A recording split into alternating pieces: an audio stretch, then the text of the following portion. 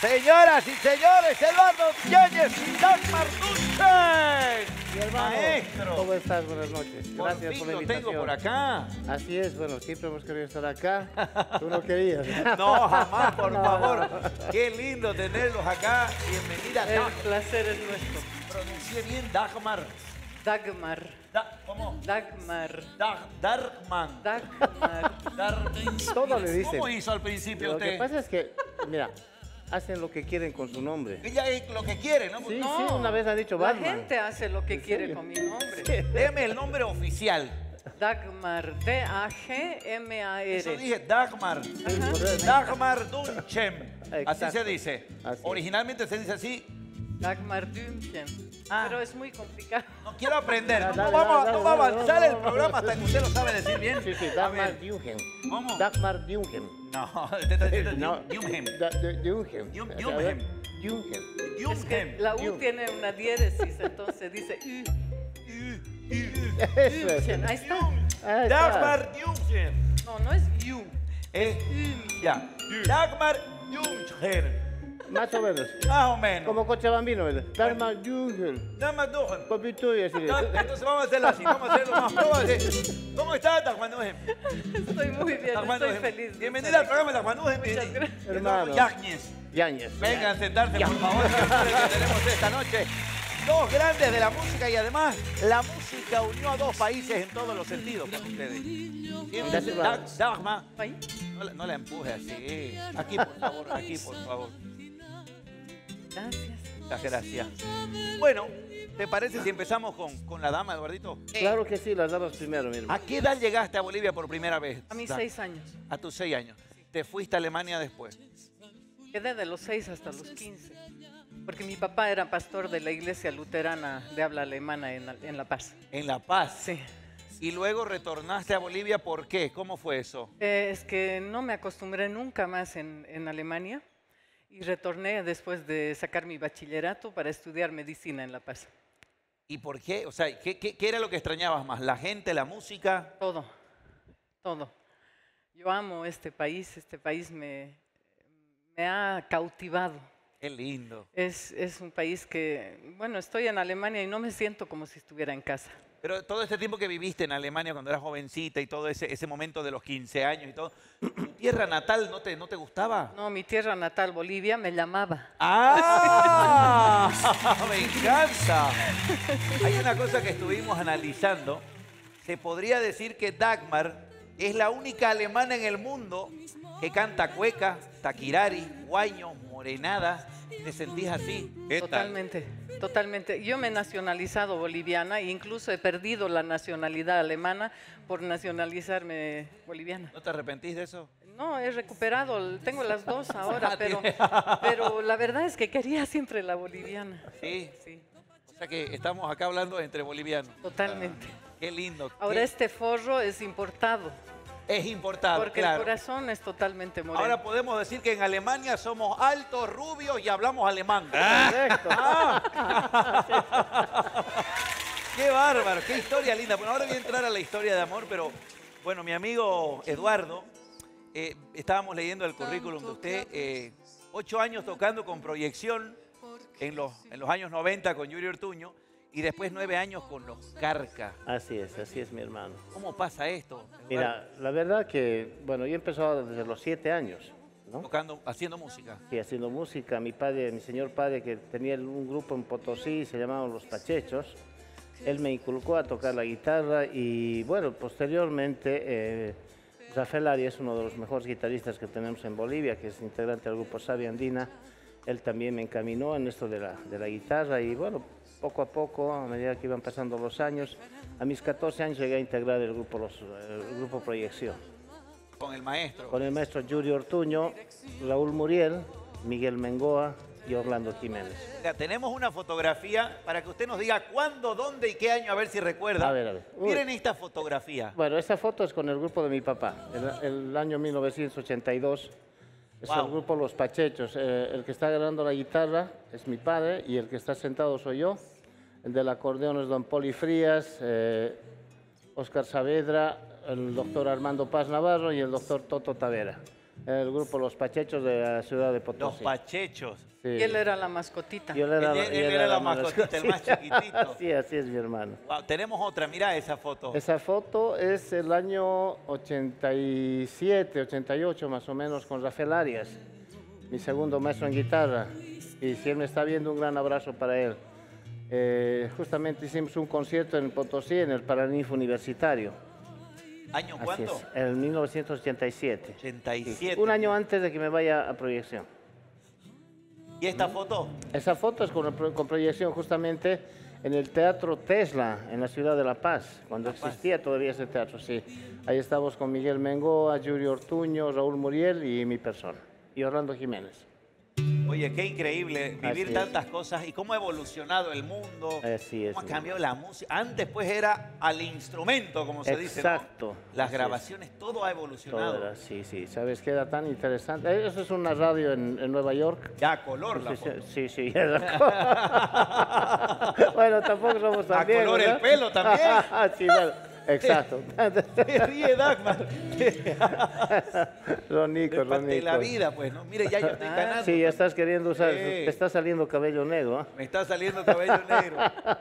Y ahí Esa está foto es con Carcas. con los carcas. Sí, ahí estamos, eh, Elmer, Gastón. Gonzalo. Ese año debe ser el 94, 95. Sí, eso es en un viaje que hicimos a Chile. Y estábamos volviendo de Chile entre Tambo Quemado y, y- y- y Chile. Ya. Entonces nos decidimos tomarnos unas Más o menos, fotitos. ¿qué año? El 94, 95, algo así fue. ¿Ya existía esta dama en su vida? Eh, estábamos, eh, no, no, todavía no. No, en su vida ella, no, pero nos eh, encontrábamos en los Siempre nos escenarios. encontrábamos. escenarios. Así es, así es, así es. ¿Dónde fue la primera vez que se vieron? Ay, Ese suspiro. Pero ese hombre. suspiro, Sí, claro. Yo la primera vez que la vi allá fue en la Peña eh, Los Escudos, en La Paz. En La Paz. Sí, justamente cuando nosotros llegábamos a La Paz, íbamos con el grupo Proyección, ella cantaba sola, era solista. Bueno, ella tenía su vida en esa época, yo también tenía la mía, pero siempre quedaba esa admiración, más que todo, primero artísticamente, porque yo, yo veía batallando una mujer sola, cantando, es una peña, decía, pucha, y, y, y cómo lo hacía, lo hacía Además muy bien. imponente, ¿no? Claro que sí, sí, daba miedo. Me daba miedo ¿Te daba acercarme. y miedo? ¿Te decirle- intimidaba? Sí, sí, sí, me daba miedo acercarme y decirle hola. ¿Y hablabas bien español o tenías problemitas No, no, con el no. español? No, pues como crecí aquí, en realidad yo Claro. siempre hablaba bien el castellano, Eh, me dijeron que hasta bailaba morenada usted. ¿cierto? En La Paz. Mira, yo estuve años en Alemania para hacer una espe- especialidad y decidí volví a, Bol- a Bolivia, volver a Bolivia porque no soportaba vivir allá, me quitaba la energía. Y ahí eh, tenía siempre la ilusión de vestir de chola algún día.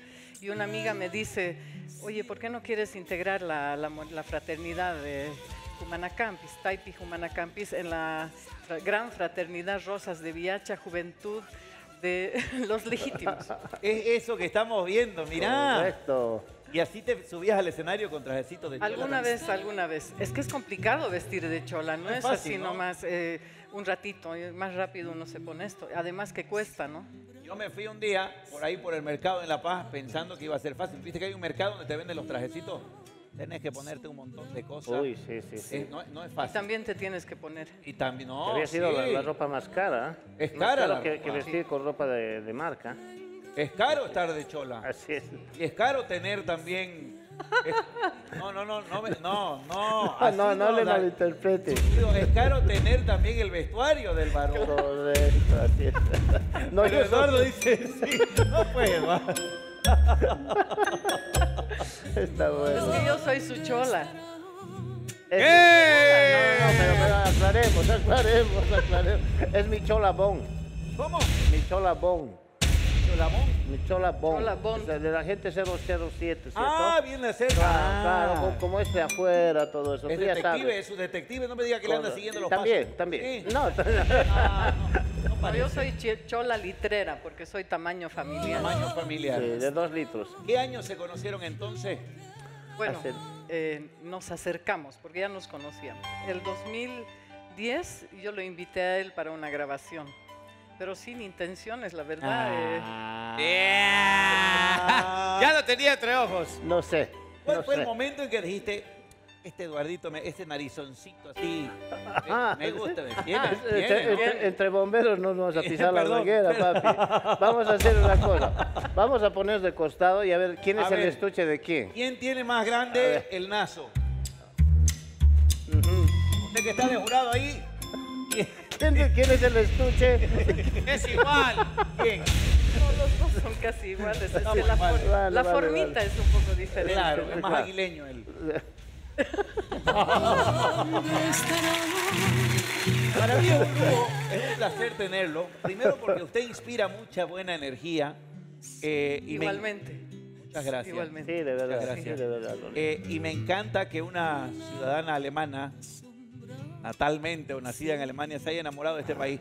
Eso dice el porqué de muchos extranjeros que vienen a nuestro país y se enamoran, ¿no es cierto? Creo que mi, yo debo tener una misión en la vida. Hacer que los bolivianos valoren más lo que tienen. Porque muchos bolivianos no valoran lo que tienen aquí. Cuesta mucho, ¿no? Sí, mucha gente dice, ay, me hay que irse a Estados Unidos, a Europa, lo que sea, todo es mejor allá. Pero no, aquí es más, más lindo, Es más lindo. más lindo. Es más lindo. Necesito que vendamos un poquito el charque. Están, están preparando conciertos, están haciendo presentaciones, porque yo sé que ahorita es complicado, pero ¿hay presentaciones futuras? Bueno, más que todo, eh, hay una presentación de un nuevo trabajo que hemos hecho, que consiste en que consiste en un disco de 12 canciones, 13 canciones, que en realidad eh, son, eh, son música nacional, música internacional. Latinoamérica. latinoamericana en este caso. Son canciones muy lindas, eh, algunas composiciones nuestras y algunas composiciones de grandes, con- de grandes eh, compositores, para la redundancia. Entonces estamos queriendo presentar eso. es decir, en el, en el tiempo de la pandemia no lo pudimos hacer. Tú sabes que se nos ha truncado mucho a todos los colegas seguramente. Pero eh, ya tenemos la oportunidad de hacerlo. Entonces estamos felices por presentar y felices de estar acá. Hubiéramos querido traerlo, pero te lo hemos traído los Ay, anteriores. mirá, tres. ya anteriores. empezaron los favor. tempranito. ¡Wow! Así es. Mirá los discos que Es un tienen. obsequio para ti, querido hermano. Muchas gracias a los dos, gracias. ¿Esto dónde lo puede conseguir la gente? Es importante tener esto, este material. En en Discolandia. En Disco- eh, ¿existe también- Discolandia todavía? Sí, sí, sí, sí, sí, sí, existe, sí, todavía. Está todavía. Porque ahora uno se ayuda con WhatsApp, con esas cosas. ¿no? Claro. También en las redes sociales pueden encontrar, o sea, tenemos una página. ¿Cómo se llama? eh, Dagmar Dunchen y Eduardo, Eduardo Yáñez. Yáñez. Mira vos, Es ¿y que por ella tiene- primero? Porque soy dama. Eso, sí señor. Qué pregunta tonta. Señoras y señores, recién empieza esta noche con nuestros invitados de lujo y de honor. Gracias. Dos hermano. bolivianos, una que tiene el pelito así como el sol, pero se cree más boliviana que cualquiera. Y usted un boliviano maestro que nos ha regalado tanto con su música. Gracias, mi hermano. Bueno, como siempre, no paramos conectados en las redes sociales, en el Facebook, invitados de lujo. Y me preguntan, ¿vos me vas a preguntar cosas? Y yo le digo, pregúntame vos si querés, ¿qué me querés preguntar? Eh, ¿Cómo se dice salud en húngaro? ¿Salud en húngaro? Sí. Eh, no sé. Egészségünkre. Bueno, listo. Imposible, difícil. No, a ver, lo que pasa es que cuando llegaron me dice, ¿de dónde es tu apellido y todo? Mi apellido es húngaro, pero hasta yugoslavo, pero hasta ahí, no, no, no llego más. Eh, yo quiero saber cuándo empieza tu amor por la música y también eh, tengo entendido que tocabas guitarra, ¿no? Sí. ¿Empezaste aquí? ¿Cómo fue? ¿A qué edad? Yo llegué a mis seis años y escuché los primeros discos de música andina y ya me tocaron el corazón. Y a los 12 empecé a tocar guitarra y ahí yo siempre quería tocar música nacional. Mis papás querían que haga música clásica, pero yo le pedí a la profesora que me ¿Tus enseñara. padres eran músicos? Bueno, ellos siempre han sido músicos aficionados, ¿no? Pero lo hacían muy bien. ¿Y, y podrías decir cuál es el estilo que más te gusta o, o te, o te cuesta responder eso? Como hay tantos estilos, o sea, Bolivia tiene, en mi país hay solo dos estilos, la, la polka y la guarani, y para de contar. Pero aquí tienen Aquí una variedad, una variedad de ritmos, ¿no? impresionante. Bueno, yo soy muy amante de la música criolla, pero admiro muchísimo la música andina, que son los vientos con los bombos. caras música así. autóctona. Música autóctona es algo que entra, que te entra con mucha energía, con mucha fuerza. Es que tiene, tiene un sonido místico, ¿eh? O sea, Sí. nosotros hemos tenido la, la- la virtud, la suerte de tener aquí a varios colegas de ustedes, míos también, y tremendo. O sea, la verdad que el folclore boliviano es increíble. de nuevo, a ver, quiero verlo. Cuando están ahí en la peña, cuando est- estamos de vuelta, por si acaso, país Bolivia entera, ¿cómo bailan cuando, cuando están? ¿Se puede un poquito? No baila. No no, baila. no, no, te cuento que no me gusta bailar. No te gusta La bailar. verdad que no, me gusta bailar en boca de la gente. No te quiero presionar, pero 12 millones de personas alrededor te están viendo en este momento. Y están viendo un programa muy lindo donde se ven artistas bolivianos que acá hacen lo que no les gusta hacer. Entonces, hagámoslo, mi hermano. Hay que hacerlo, hermano. Todo por la gente, todo Yo por más el que todo es por vos, no es por mí ni por el show. Es porque acá los miedos hay que vencerlos. Excelente. Y mucho más al lado de una mujer tan hermosa como la tuya, con Perfecto, todo respeto gracias, cariño. mi hermano, gracias. Ponele música. A mí no me gusta hacer estas cosas, porque no me gusta incomodar a la gente. Yo quiero verlo bailar a Eduardito y la gente también está. Una lenta de ella quiere una lenta. Una lenta. Ahí está, esa está lenta, mira. Susurrame tu silencio cuando me veas llegar. Hoy voy a verte de nuevo. Un aplauso, señores. Yo creo que lo intimida todavía. Años después lo sigue intimidando. Pero Dagmar, no es nomás abusar del tímido. Usted bailó morenada. Sí. Y si yo le pongo una morenada un Que poquito. lo haga. Dale. Sí. Sí, sí. Miramos, tenemos morenada, mirá, Dagmar. ¡Qué